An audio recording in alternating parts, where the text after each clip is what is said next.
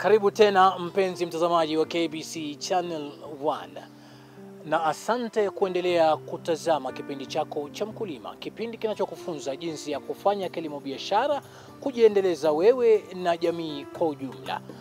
Mbali na kilimo kinachotumia mchanga, kuna aina nyingine ya kilimo cha hydroponic. Kilimo hiki akitumii mchanga. Je, kilimo hiki hufanywa vipi? Na je, kilimo hiki hutumia maji pia? Tazama ujione. Ili kupata mapato bora zaidi katika nyanja hii ya kilimo, wakulima wamejaribu aina mbalimbali mbali za kilimo na mbinu tofauti ili mradi mazao yawe tele na ya kuridhisha. Kogo ni kijana barubaru ambaye baada ya kuhitimu chuoni alivulia nguo kazi hii ya kilimo. Uh, nafanyanga farming, hydroponic farming. Eh, ni kufarm bila bila kutumia mchanga na inatumia minimal water pia. Eh, I do also kuna kitu ya animal feed inaitwa foda pia, hiyo ina machua kwa siku saba, yaitumie mchanga pia na minimal water pia. Vijana wengi hawakienzi kazi ya kilimo hata kidogo. Wengi wao huchukulia ni kazi ya watu ambao hawakwenda shule ama ya watu wazee baada ya kustaafu. Sivyo na Kogo, lakini motisha ya kufanya kilimo alitoa wapi ili kupenda kazi hii?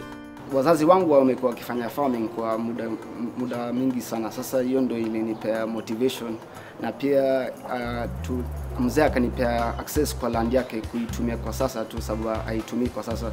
Sasa hiyo ndio ilikuwa uh, the reason nika decide kuanza farming pia. Hilo halimaanishi hakujaribu kilimo cha kwenye ardhi, yani cha kutumia mchanga. Hata tulipomzuru alikuwa amepanda maharagwe, kwani kilimo hiki cha hydroponic amekianza tu juzi, lakini amefurahi matokeo yake. Um, hydroponic uh, eh, inakuanga mzuri sana sababu eh, haitumii mchanga um, haitumii maji so ma enye yenye yule nka sio kubwa sana um, maji hiyo kiwango ya maji inatumia kwa siku is very minimal kama 1 liter 2 liters kama yeah Badala ya mchanga, kuna madini fulani ambayo hutiwa ndani ya gunia pamoja na changarawe, kisha unatoboa gunia lako mshimo na kupanda mbegu zako. Kwa kutumia mfumo wa kunyunyiza maji aina ya drip, maji yanayotumiwa huwa kidogo sana. Maji humwagika kwa utaratibu kutoka gunia moja hadi lingine.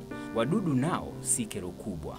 sababu hutumii mchanga na hiyo hiyo system unaweka juu, unatumia vertical farming.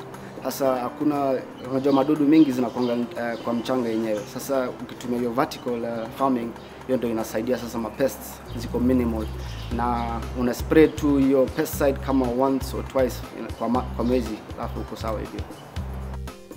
Kwenye mchanga magugu huwa mengi, lakini hivyo ni kinyume na hydroponic. Hakuna nyasi nyingi za kukutatiza kuzing'oa. Kilimo hiki pia kina changamoto zake. Eh, kuna kuanga na difficulty in terms of eh, hizo materials zenye utatumia kujenga hiyo hydroponic system. Sometimes uh, kupata hiyo pesa yote kufund hiyo project labda inaweza kuwa na shida pia kupata hiyo pesa ku- kuraise hiyo pesa.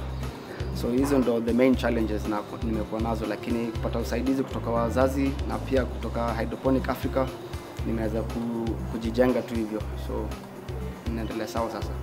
Mbali na kilimo cha mboga, bado yeye hutumia mfumo huo huo wa hydroponic, lakini kwa lishe ya mifugo. Hivi ndivyo anavyokuza chakula cha mifugo. Um, in terms of the fodder, fodder inatumianga barley seeds. Hasa unaweka barley seeds kwa maji, unaisoak for 4 hours. After 4 hours unatoa hizo ma seeds, unaweka hizo seeds kwa tray kwa germination chamber kwanza for 48 hours. After after that now unaenda unaenda unaweka hiyo uh, mbegu kwa tray sasa. Ukiweka kwa tray hizo uh, zinachukua kama siku saba maximum for it to fully mature. Um, sasa hiyo una spray tu mara tatu kwa siku na hiyo maji inatumianga iko na nutrients ndani yenye uh, hiyo fodder inaza inatakana ndio imee vizuri, so hiyo ndo process ya hiyo.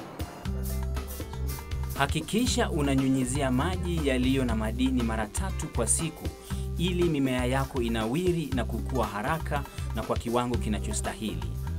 Mnyama yoyote yule anaweza kula chakula hiki na ina madini tele kwa mili yao. Wateja wake nao ni rahisi kupata kwa sababu bei yake haiumizi hata yule mfugaji mdogo. Foda sai uh, user kwa ma clients yenye I, I meet them face to face tu, najaribu kufanya marketing hivyo, nauliza tu watu nikikutana nao, nauliza nauliza kama wako na wanyama na wako na wanyama gani na kama eh, cost costs yenye wanatumia sahii kununua hiyo animal feed yenye iko kwa market, hiyo conventional uh, feeds. Eh, sasa ukiangalia hiyo difference ya price in terms of the conventional feeds as opposed to fodder eh, iko very very much cheaper, very cost effective. Sababu hiyo tray moja mi nauza 500 shillings. Na hiyo tray moja ina range between 10 to 15 kilograms kwa tray moja as opposed to kwa market sahi hiyo 10 to 15 kgs of uh, any animal feed ina iko ina wanauza kama 1800 na kwenda juu sasa ukiangalia hizo difference ya pricing ndo ina inasaidia wateja wanasema eh naweza nunua instead ya kununua eh, normal normal food feeds ya wanyama Kogo ameweza kuajiri kijana mwenzake ili amsaidie na kazi hii ya kilimo. Tuliwatazama wakivuna mboga zao na tulistaajabu vile walikuwa wanatoa jani moja. Sababu yao kuu ilikuwa hii.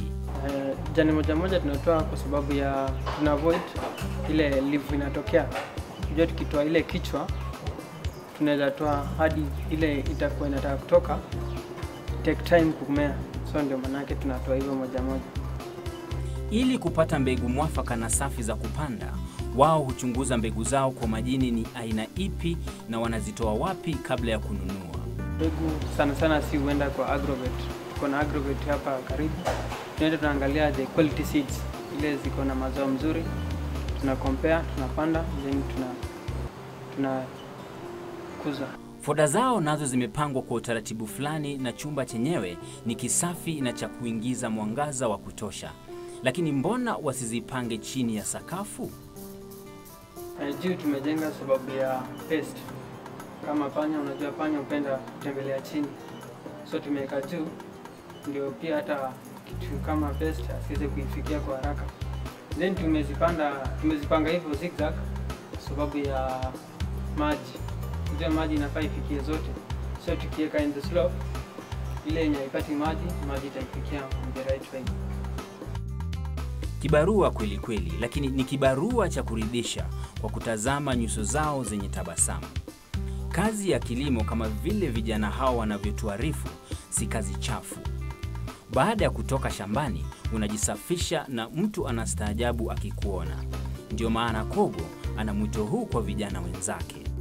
E, ningependa kuambia wa mayouth kama mimi wajaribu ku, kuji busy wa, waanze maproject yenye wanaweza kuwa busy wasikae tu idle. E, mwanazoomba hata mzee ama mama wanasema kama uko na nafasi kandogo na watumii unaweza waulize, alafu labda unaweza fanya hii project, sababu uzuri ya hii hydroponics haitumii nafasi mingi. Kufanya hii vertical farming eh, the space it requires sio kubwa sana. Unaweza kwa hiyo vertical farming sababu zinasimama hivi, hasa unaweza tumia ka, ka space kadogo tu na ita, utapata ka output yenye itakuwa sawa ya kujisaidia. Si lazima uwe na kipande kikubwa cha ardhi. Hata ufugaji wa nyama ni jambo lingine la kutiliwa maanani, iwe umeishi mjini ama mashinani.